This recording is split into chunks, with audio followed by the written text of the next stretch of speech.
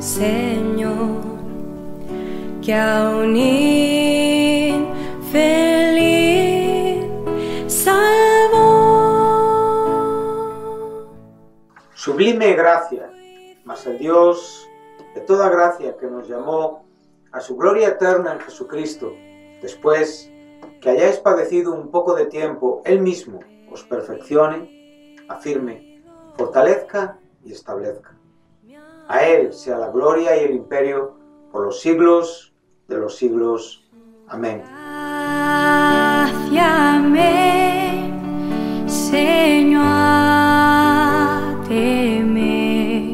Sublime Gracia es un programa que presenta breves reflexiones fundamentadas en la palabra de Dios. Es un deseo y necesidad de mi propio corazón de conocer más profundamente a este nuestro Dios de toda gracia que nos llamó a su gloria eterna en Jesucristo. Todas las semanas, en Luz a las Naciones, canal cristiano de comunicación, puedes seguir este programa y recorrer juntos el largo pero certero sendero de la palabra de Dios. Dios me salvó y mis cadenas ya él rompió. Sublime gracia, porque de su plenitud tomamos todos y gracia sobre gracia. Perdón, sublime gracia, inmenso amor. Agradezco a Dios el poder estar aquí de nuevo en esta semana y también agradezco a Dios el poder compartir con ustedes eh, su bendita palabra. Bueno, siempre en estos 20-25 minutos que dura este programa, pues tratamos de compartir pensamientos breves, eh, breves eh, reflexiones que, que tratan de sembrar en nuestro corazón expectativas santas que nos muestran eh, a través de la luz del Espíritu Santo las glorias eh, venideras que son eh, por esos sufrimientos, como bien nos decía el apóstol Pedro, poder ver, contemplar la gracia de Dios en su amplio espectro, en su amplia verdad y poder disfrutar de ella, no en una forma religiosa, sino realmente en una forma vital. Somos miembros eh, del cuerpo de Cristo y por lo tanto tenemos la vitalidad de este cuerpo y la vitalidad de este cuerpo descansa en aquel que es la cabeza, el Señor Jesucristo y como no, en el Espíritu Santo, sí, que es el que llena este templo y es el que llena cada creyente y nos dirige hacia toda la verdad de Dios. Me gustaría estar con ustedes unos minutos en el capítulo 16 del Evangelio de Mateo, aquí a partir del versículo 13. Y aquí tenemos un momento bastante importante de, lo que este evangelista nos dejó registrado. Sabemos que los evangelios eh, son libros históricos del Nuevo Testamento y, fundamentalmente nos enseñan y nos hablan acerca de la, de la historia eh, y los hechos y los milagros eh, de Jesús aquí en esta tierra desde su nacimiento hasta que es crucificado y resucitado y ascendido a la diestra del Padre en la majestad, en las alturas. Por lo tanto, aquí, ahora mismo en este capítulo 16, nos encontramos ya en el fin del ministerio eh, en Galilea, en lo que es la parte norte de Israel. Sabemos que, que, Cristo fundamentalmente vivió sus primeros años, él nació en Belén, sí, eso pertenece a Judea, pero sabemos que, sus padres eh, vivían en Nazaret, vivían en esa zona norte de Israel. Entonces él ahí sabemos que comenzó su ministerio y, y a partir de ahí él ya eh, dirigió su vida hacia Jerusalén, donde el conocedor de, de, de lo que le esperaba sabía perfectamente que allí tenía que padecer. Estamos en este momento. Cristo está dirigiendo su vida, está enfocando su vida, está asentando y dirigiendo sus pasos, sí, afirmando el rostro, como nos dice la palabra de Dios, para encontrarse ya con el propósito final, con el propósito fundamental, eh, con el clímax de su ministerio aquí en la tierra, que es su muerte en la cruz. Es muy interesante connotar y, mostrar que, ya podemos ver que, cinco capítulos después nos encontramos ya con esa entrada triunfal en Jerusalén, por lo cual ahí sabemos que ya estamos en la última semana de vida terrenal de nuestro Señor y, sabemos que ese es el, tiempo en el que ya los sucesos eh, se empiezan a, empiezan a suceder en una manera rápida y Cristo pues da por nosotros su vida en la cruz. Entonces, hasta aquí Cristo había tenido fundamentalmente un ministerio en Galilea. Entonces dice el verso 13, dice, viniendo Jesús a la región de Cesarea de Filipo, preguntó a sus discípulos, diciendo, bueno, Cristo ahora mismo está en una región eh, fundamentalmente gentil, ¿sí?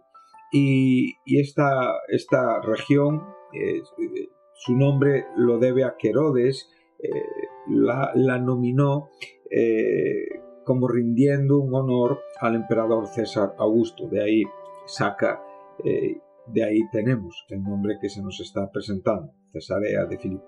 Esta es una región fundamentalmente gentil. Dice, ¿quién dice los, quién dicen los hombres que es el Hijo del Hombre? Bueno, esta es una gran pregunta que Cristo eh, hace en el momento correcto y adecuado. Nunca antes Cristo le había preguntado a, sus discípulos esta cuestión y ahora es el momento de descubrir un poquito más de su persona, de su ministerio, de su carácter mesiánico. Y sabemos que, que, esta confesión viene únicamente en los evangelios sinóticos y nos lo encontramos también en el Evangelio de Marcos, en el capítulo 8, entre los versos 27 y 30, y en el Evangelio de Lucas, en el capítulo 9, entre los versos 18 y 21. Eh, pero el Evangelio de Mateo, que principalmente tiene un carácter judío, y sabemos que Mateo nos habla y nos expresa y nos presenta a Jesucristo como el Rey, como el Mesías, eh, evidentemente relacionado con el pueblo judío y, por supuesto, eh, con la salvación de la humanidad. Pero Mateo, en cierta manera, nos incluye algunos asuntos eh, que no incluyen Lucas y que no incluyen Marcos, que fundamentalmente escribieron a romanos y a, griegos. Por lo tanto, la dirección de sus evangelios es más hacia eh, los pueblos gentiles, ¿sí? Entonces, aquí, por ejemplo, hay una frase importante que es la respuesta de Pedro, que es, tú eres el Cristo, esto lo, responde en, Lucas 9 también, donde, donde añade eh, donde dice tú eres el Cristo de Dios y también el Evangelio de Marcos, su respuesta es, es la siguiente y nos dice claramente tú eres el Cristo. Pero aquí añade el Hijo del Dios viviente. Por lo tanto, esta frase es, es importantísima y por eso creo que, haciendo un paralelismo entre las tres informaciones eh, de los evangelios sinóticos, pues podríamos casi sumando eh, lo que leemos en todos, quedarnos con, con, este versículo que no solamente nos dice lo mismo que los demás, sino, sino que nos amplía un poquitín. Bueno, Cristo les está diciendo, ¿quién dicen los hombres que soy, que es el Hijo del Hombre? Bueno, ellos respondieron, Juan el Bautista, unos, Elías otros, otros Jeremías, o alguno de los profetas? Bueno, la respuesta de los discípulos tampoco es una respuesta aleatoria, no es una respuesta eh, que carece de, de, sentido, sino que realmente es una respuesta con, con un sentido teológico. Ellos eh, eran judíos, ¿sí? Y ellos tampoco eran unos ignorantes en cuanto a eh, algunas verdades escriturales. Por lo tanto, aunque en el sentido de la revelación de la persona de Jesús, ellos necesitaron de la luz del Espíritu Santo, como todos los hombres, eh, de todas las edades y de todas las generaciones, eh, todo lo que podemos llamar ese nuevo nacimiento justificación por la fe, tanto en el Antiguo Testamento como en el Nuevo Testamento, y en todo lo que es la historia de la humanidad desde que el hombre cae y hasta el regreso de Jesucristo, siempre, evidentemente, será eh, por la fe en Jesús, por la gracia que nos habilita y nos capacita para tener fe en Jesucristo, en su justicia, en lo que Él representa delante del Padre. Pero aún así, sabemos perfectamente que las escrituras Antiguo Testamento ya era una verdad conocida eh, por el pueblo judío. Y sabemos que unos 300 años antes de, Cristo eh, ya teníamos eh, escrito el Antiguo Testamento en lo que es la Septuaginta, por ejemplo. Teníamos, Cristo se refiere muchas veces a las Santas Escrituras, a los escritos, a la ley y a los profetas, y sabemos perfectamente que nos está hablando del Antiguo Testamento. Por lo tanto, los discípulos también tenían un conocimiento de esta escritura, pero ellos también necesitaron de esta revelación al corazón eh, para poder comprender más profundamente lo que el, el pueblo judío no comprendió y en cierta manera endureció todavía su corazón y todavía es más, crucificaron evidentemente al, Señor de la Gloria. Sus respuestas no eran respuestas ignorantes, aun incluso lo que la, propia gente decía de él, todo estaba relacionado con la propia historia griega. Juan el Bautista y Elías son dos personajes. Juan es el último profeta del Antiguo Testamento, es, es, digamos, es la frontera entre la vieja dispensación y la nueva dispensación, es el precursor de Cristo. Juan es anunciado por Malaquías en el capítulo 3 como ese mensajero, el propio Isaías 700 años antes de Cristo. Habló también de Juan en su capítulo 40, esa voz que clama en los lugares desiertos, esas predicaciones que, que, ruegan y que, y que instan, exhortan a enderezar esos caminos del Señor.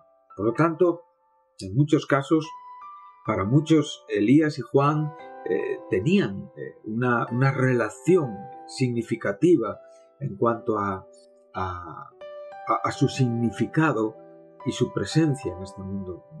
Tenemos que recordar que el propio Herodes, cuando después de haber ejecutado a Juan, eh, pensó que, que, Jesús era Juan que había resucitado de entre los muertos. El propio Jesús dijo de Juan que, que en verdad Elías ya ha venido dice claramente no le hicieron caso, no le conocieron. Es más, hicieron todo lo que con él quisieron en cuanto a, su martirio, en cuanto al desprecio que, que sufrió, pero el propio Jesucristo dijo que así también el Hijo del Hombre tendrá que padecer. Por lo tanto, Cristo está incluyéndose también en esa experiencia por la que Él tendrá que pasar y que es a partir de este capítulo cuando Él empieza a revelar a sus discípulos lo que va a suceder con él. Incluyen a Jeremías, también un profeta prominente en el Antiguo Testamento, y todo en cierta manera siempre relacionado con la ley de Moisés, con los escritos, con lo que conocemos como el Antiguo Testamento. Bueno, Cristo ahora eh, hace otra pregunta, y esta para mí sí que es una pregunta importante. Él ya se dirige personalmente, puedo imaginarme el, momento y a la vez puedo trasladar esta pregunta a todos los que estamos escuchando este programa esta mañana. La importancia, eh, lo fundamental, lo vital de tener una respuesta a la cuestión de quién digo yo que es Jesucristo. No hay una pregunta más vital para el ser humano, queridos oyentes. En este momento Cristo ya está eh, dirigiendo una, una cuestión profunda. Eh, entendemos que, que el, el verbo encarnado, Dios encarne en una perfecta omnisciencia, en una perfecta omnipotencia, todos los atributos de la deidad descansan sobre la bendita persona del Dios encarnado, Jesucristo, el Hijo del hombre, el Hijo eterno de Dios, el Hijo del Dios viviente. Aquel que en la eternidad ya era el Hijo eterno, aquel que se humanó en los propósitos gloriosos de la voluntad del Padre para poder satisfacer y complacer la voluntad del Dios Santo en su propósito redentor para la creación. La creación gime, como dice Pablo a los romanos en el capítulo 8 de su epístola, y la creación gime desde que el pecado entró en el mundo y por el pecado la muerte. La creación gime a una anhelando ver la manifestación de los hijos de Dios, o sea, la manifestación de la iglesia glorificada, desposada en las bodas del Cordero con su esposo Jesucristo para toda la eternidad. La revelación, la manifestación de los hijos de Dios. Todo esto guarda una relación con el propósito eterno de Dios y por lo tanto guarda una relación con una respuesta concreta, clara, precisa, sincera a esta pregunta. ¿Quién digo yo que es el Hijo del Hombre? ¿Quién dice usted que es el Hijo del Hombre? Párese un momento a pensar. Trate de tener una reflexión en su corazón.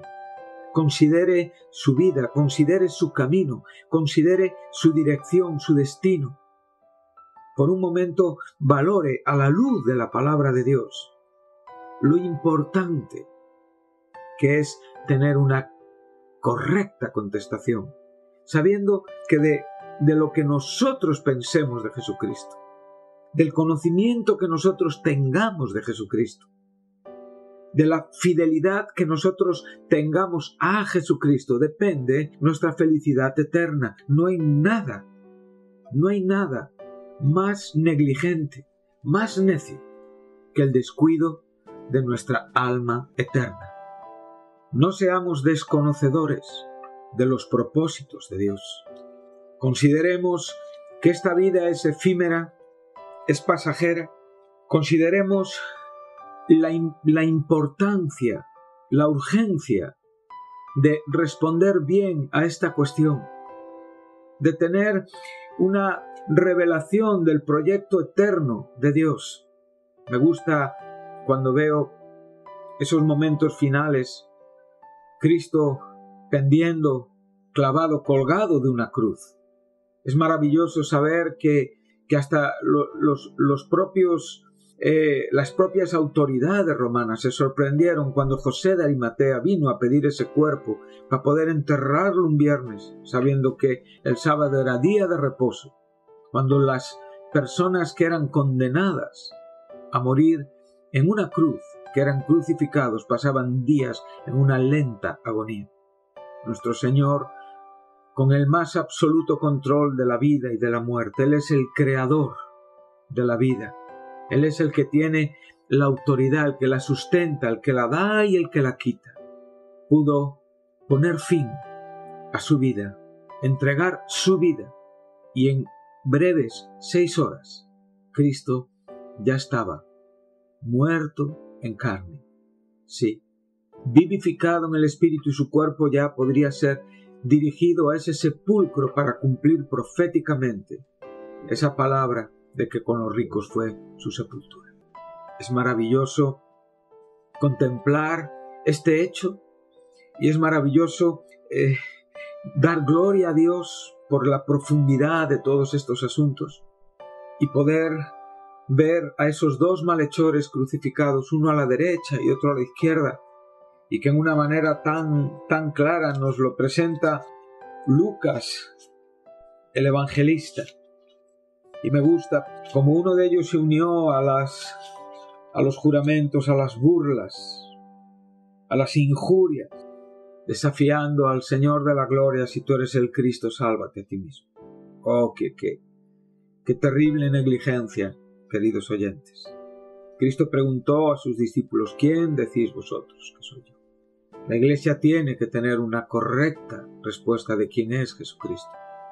Usted, si es un hijo de Dios, tiene que tener una correcta respuesta de quién es Jesucristo.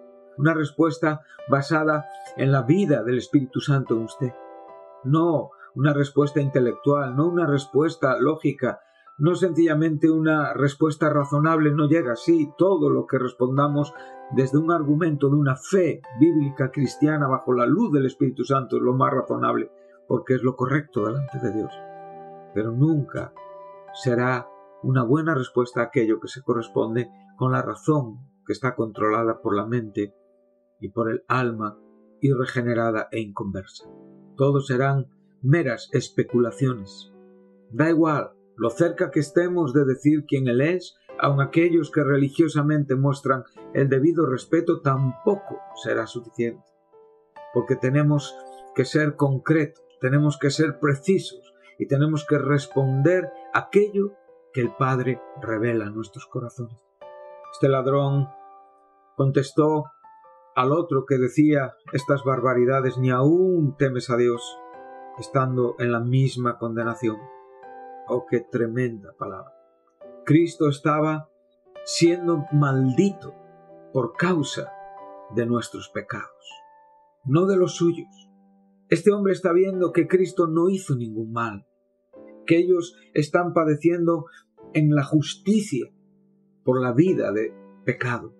Él puede tener una revelación de quién es Jesús y puede verle padeciendo por, siendo crucificado por, llevando el pecado sobre sí mismo. Y en este momento, Él le dice a Jesús, acuérdate de mí cuando vengas en tu reino. Él tiene una visión del rey y del reino.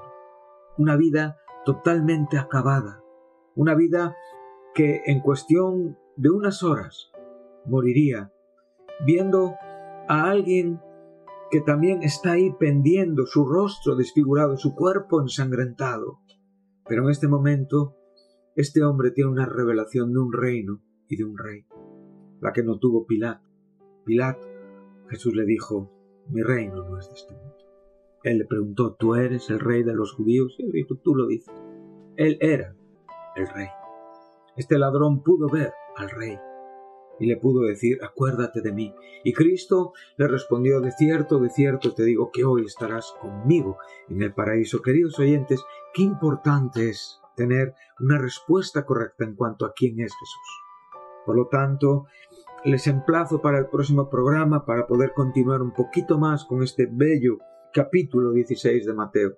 Pero en esta mañana, si están escuchando el programa en la mañana o si lo están escuchando en una emisión vespertina de la tarde, recuerde que hoy sería una gran pregunta a su corazón. ¿Quién es Jesús? Y tener la respuesta correcta. Él es el Cristo, el Hijo del Dios viviente. De esto depende su felicidad en la eternidad. Que Dios les bendiga y hasta el próximo programa. Muchas gracias.